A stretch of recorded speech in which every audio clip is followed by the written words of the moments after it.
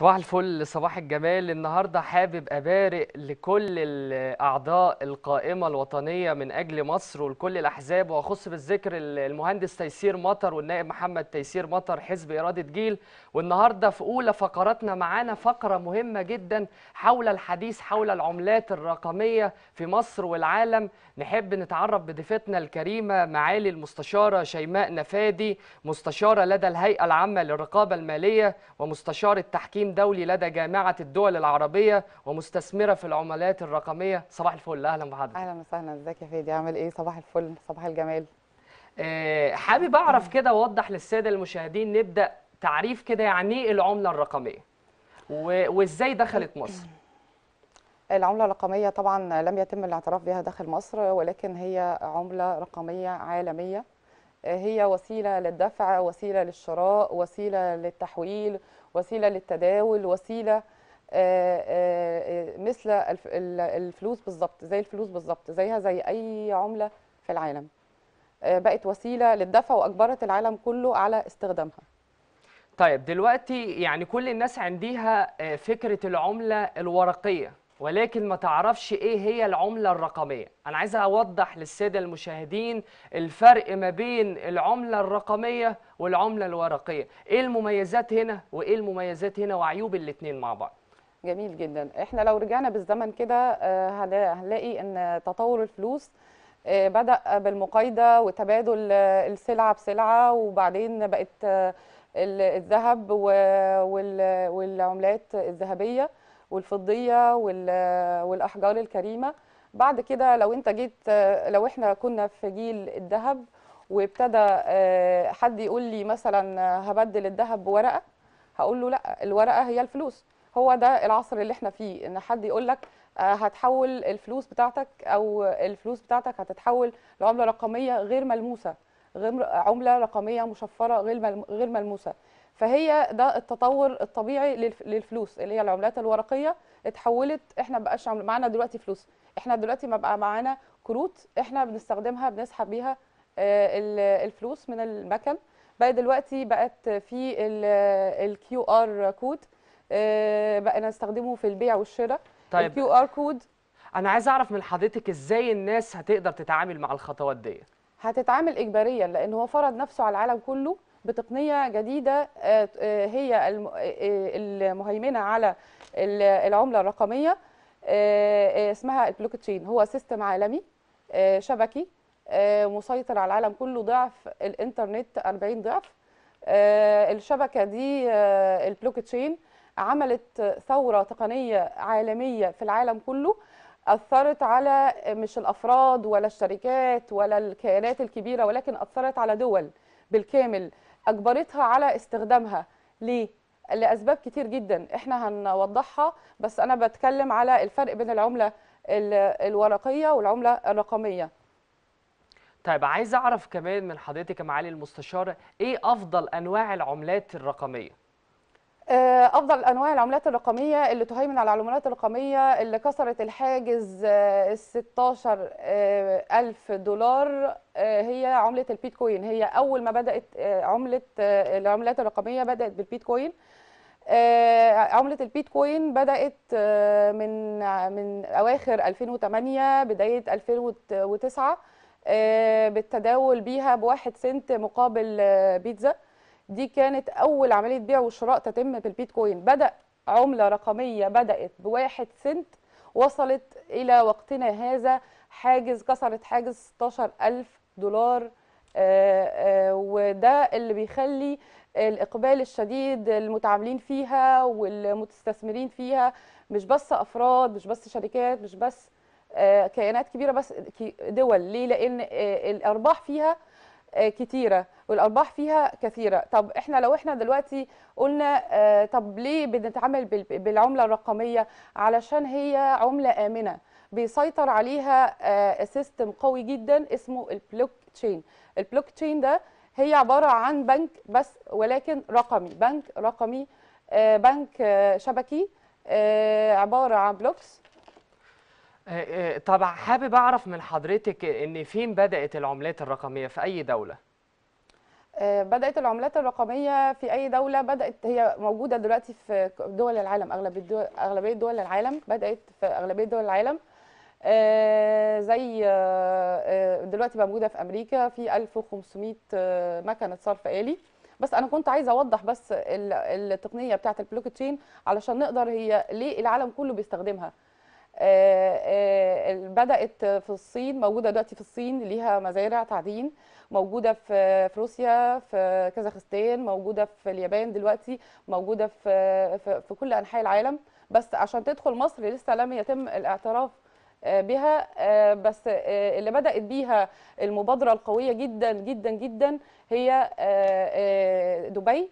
دبي عملت دلوقتي ابتدت تدفق مليارات الدولارات آه، للبلوك تشين عشان تستثمر فيها. طب ليه الدول بت- بتتجه للاستثمار في البلوك تشين ده اللي إحنا هنعرفه بس أنا عايزة أوضح البلوك تشين ده عبارة عن blocks blocks بلوكسات جنب بعض آه، أنظمة جنب بعض لا آه، يعني ما ينفعش إن تتهكر لأن هي عبارة عن شفرات آه، آه، وعملية حسابية رياضية خوارزميه يصعب تشفيرها أو تهجيرها تهكيرها من قبل أي جهات آه، هاكر. طيب أنا عايز أعرف كمان منك يا معالي المستشارة هل دلوقتي ال- العملات الرقمية في الدول دي في كل دولة ليهم مقر معين مثلا؟ هل بيوجد مقرات ولا كله عن طريق آه، وسائل التواصل الاجتماعي أو عن طريق website خاص بالعملات الرقمية؟ إحنا لو اتكلمنا على ال- الإنترنت ووسائل التواصل الاجتماعي ده كان زمان إن هو وسائل وسائل التواصل الاجتماعي. دلوقتي آه، وسائل التواصل الاجتماعي ابتدى النت يتطور لعمليه تطورية إن هو بقى وسيلة للبيع والشراء أيام الكورونا. آه، أمازون حققت آه، بقى صاحب أمازون بقى أغنى رجل في العالم. آه، لأنه حقق نسبة مبيعات. بقت دلوقتي مش وسائل تواصل بقت وسائل للمعلومات وسائل للبيع والربح وسائل للبيع والشراء بس وسائل للإيداع والتحويل وال- والصرف زي المكن المكن ده كله متصل بشبكة بشبكة البنك. زي البنك كل واحد عنده على الموبايل بتاعه آه، آه، عنده ال- التطبيق بتاع البنك ده شبكي صح؟ متصل بالبنك. هكذا. لما أنا أعمل محفظة وأشتري آه، آه، بيتكوين على المحفظة بتاعتي على الموبايل بقى بقى أنا متصلة بال blockchain blockchain ده اللي هو يعتبر البنك الشبكي الخاص بالعملة الرقمية بتاعتي. إيه أفضل العملات الرقمية؟ أنت سألتني السؤال ده. آه، أفضل العملات الرقمية البيتكوين الإيثيريوم ال USDT اللي هي العملة ال- ال- الأمريكية. وفي أخبار جديدة إن البنك ال- العالمي بقى ليه عملة رقمية جديدة. وفي أخبار برضو جديدة أنا كنت عايزة أقولها آه، على الساده المشاهدين قريتها الصبح. قبل ما ما نتطرق في الأخبار عايز أعرف إن يعني دلوقتي في العديد من العملات ولكن أفضلهم البيتكوين. حوالي ست- آه، 6500 طيب. آه، أكتر من 6500 عملة رقمية. طيب أنا عايز أوضح للسادة المشاهدين بناء عن إيه أنا اخترت البيتكوين أفضل في العملات الرقمية؟ هل له مثلا إحصائيات معينة أو في حاجات معينة اللي آه، تفوق عن بقية العملات؟ حابب أوضح ده للسادة المشاهدين. جميل جدا. طبعا هو تفوق على كل العملات. أنا كنت مؤخرا في في في في منتدى أو مؤتمر الاستثمار رجال الأعمال في الفوركس والبورصة وكنت بس بقارن بين ال- البيتكوين أو العملة الرقمية. إحنا ليه بنرمز للعملة الرقمية بالبيتكوين؟ عشان دي أول عملة رقمية ابتدت آه، آه، تصدر آه، أو ابتدى يبتدي التعامل بيها. طيب إيه الفرق بين البورصة وال- والفوركس والبيتكوين أو العملة الرقمية العملات الرقمية؟ البورصة علشان أنا أروح أشتري سهم. عشان أنا داخلة أستثمر أنا مستثمرة. هشتري سهم من شركة آه، السهم هيعلى كام؟ آه، في خلال الشهر كله نص جنيه. 30 آه، نو- آه، 50 قرش. 30 قرش 35 قرش. في في أسهم شركة فوري مؤخرا كانوا عاملين ضجة عشان كسبوا في الشهر عالي السهم ل 8 جنيه. فدي طبعا أرباح بدائية غير إن السوق البورصة المصري أو السوق العالمي بيتأثر بالأحداث العالمية أو بيتأثر بالأحداث الاقتصادية اللي بتحصل. يعني تم غلق البورصة مؤخرا آه، لأن في رئيس مجلس إدارة بنك معين آه، تم إقالته فابتدت البورصة تقفل. طب أنا أنا ذنبي إيه؟ إن أنا ما أربحش اليوم ده عشان في بنك رئيس مجلس إدارة خرج. بتتأثر بالعوامل ال- ال- المحيطة بالبلد نفسها اللي فيها البورصة. دي البورصة أرباحها قليلة وبتتأثر كتير وكمان بتعتمد على الإشاعات. يعني لو في صاحب شركة آه، آه، قام ببيع الأسهم بتاعته بدون الرجوع كمستثمرة مثلا لعملية الإفصاح آه، إن أنا أشوف هو ليه عمل كده ممكن أنا أبيع أنا كمان فأبيع بالخسارة فأنا بخسر. فأنا دي البورصة ممكن تخسرني غير الأرباح بتاعتها قليلة. لحظة واحدة. الفوركس الفوركس برضو لو أنا جيت أستثمر في العملة ال ال في العملات مثلا العملة الدولار هي بتبقى وجهين الدولار أو اليورو والدولار والين الدولار والإسترليني الاسترليني. آه، وهكذا. طيب أنا عشان أنا أحول من الدولار ألاقي مثلا الإسترليني طالع. ع- عايزة أستثمر فيه فأقول له أقول مثلا شركة الوساطة بتاعتي أو شركة السمسره بتاعتي بعد إذنك أنا عايزة أستثمر في ال في ال في الجنيه الاسترليني. فتقوم محوله لي الدولار الاسترليني فيبقى في فرق كبير قوي في التحويل. فده بيبقى لود على المستثمر نفسه في إن هو يقدر يحول. فهيضطر إن هو إيه يعوض الخسارة اللي خسرها في عملية التحويل غير إن الأرباح ما بتبقاش برضو زي البيتكوين. طب هن- هنشوف بقى العملات الرقمية. هنخش العملات الرقمية. إن إحنا في خلال 10 أيام صعد البيتكوين من 10000 دولار ل 16 كسر حاجز ال 16000 دولار و600 أي أرباح يعني س- آه، 6000 وشوية وسنتات وساتوشي بعد الساتو أو بعد السنتات آه، آه، في في الأرباح. يعني 6000 دولار أحسن ولا 8 جنيه؟ ولا في الفوركس آه، هربح. فكل أكيد طبعا. فكل الأفراد أنا كفرد هبص لا أنا ببص دلوقتي للثراء السريع.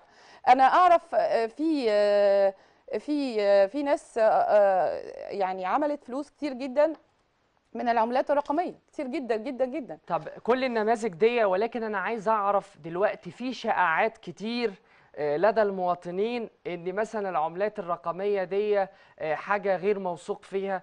أنت إيه ردك بما إن أنت مستثمرة في العملات الرقمية؟ تقولي إيه للمواطن البسيط وإيه مصادر الثقة في خلال العملات الرقمية؟ أقول الخبرين اللي نازلين دلوقتي من آه، آه، آه، الخبر الأولاني. آه، آه، الخبر الأولاني إن طبعا إصدار آه، آه، في إطلاق آه، Sonic Capital كأول صندوق آه، استثماري برأس المال في آسيا يتم ترويجه على البلوك تشين ومخصص لدعم الشركات الناشئة. يعني ال- ال- الصندوق أول صندوق آه، يتم إنشاؤه لدعم المستثمرين في العملات الرقمية. آه، بمقدار آه، يعني ضخوه في البلوك تشين عشان يتم تداول العملات فيه. آه، وإن هم كمان يكسبوا. يعني يضخوا الفلوس دي في ال في ال في, ال في البلوك تشين اللي هي الشبكة الشبكة اللي هي نعمل محفظة عليها. ونبتدي إن إحنا ندعم كل شركات الاستثمار اللي هتدخل في الاستثمار في العملات الرقمية. يعني ده شيء جميل جدا. غير إنه دبي بعد ما أصدرت العملة الرقمية وعملت الشبكة بتاعتها اللي هي هتقدر إن هي. تنمي ال... الاقتصاد بتاعها لأن كل الاقتصاد العالمي آه، انهار في أزمة الكورونا. فكان بينتعش. العملة الرقمية كمان يا جماعة نسيت أقول أهم خبر إن العملة الرقمية لا تتأثر بالأحوال الاقتصادية والاجتماعية والسياسية نهائي ولا التضخم ولا أي شيء. فالعملة الرقمية آمنة. والتعامل فيها آمن. لذلك كل العالم بيتجه ليها. جنوب أفريقيا دلوقتي بقت عملة رئيسية.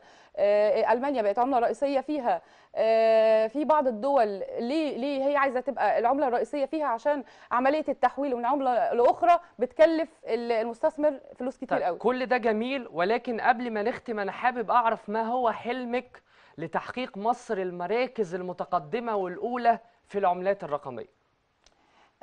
حلمي طبعا إن مصر آه، تخش آه، زي آه، سيادة الرئيس ما كان آه، عمل مبادرة آه، مصر الرقمية إن مصر فعلا يدخل أول فيها أول بنك رقمي آه، بدون بشر طبعا هو بتبقى أجهزة. آه، نبتدي نجهز للعملة الرقمية لبلدنا الايجي كوين آه، نعمل أول مكن صر- صرف آلي زي ما موجود في حول العالم كله أكتر من 10000 مكنة صرف آلي. آه، دي آه، بتخلي آه، الفرد مننا لما بيبقى عنده آه، محفظة على الموبايل بيبقى بديل للبنك بديل للبنك بديل لل للسمسرة للسمسرة يعني شركة الوساطة السمسرة. إن أنا يبقى عندي محفظة هنا يبقى سهل خالص إن أنا آخد العملة بتاعتي أحولها لفلوس. سهل قوي إن أنا أحطها على منصة وأربح منها. سهل قوي إن أنا آخد العملة اللي هي البيتكوين وأحولها لعملة إيثيريوم. لو أنا شايفة إن الإيثيريوم طالع وال- والبيتكوين واقف.